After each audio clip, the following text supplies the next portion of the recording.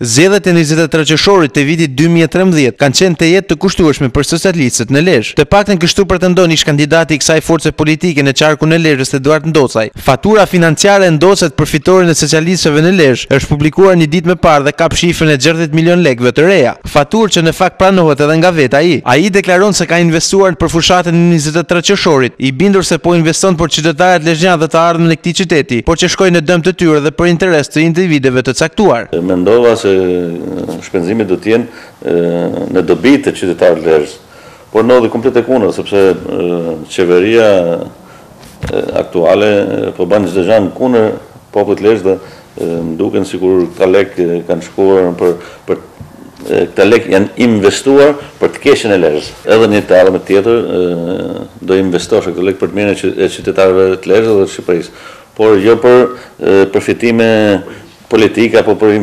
përfitime të një individi apo një tjetri.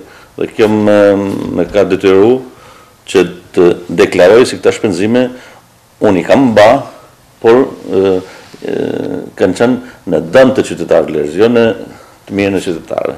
Shpenzimet e Eduart Ndocajt për zgjedhjet e njëzet e tre qershorit të vitit dy mijë e trembëdhjetë u publikuan nga një media online që kërkon transparencën e koalicionit të majtë për fondet e derdhura gjatë fushatës elektorale të dy viteve më parë.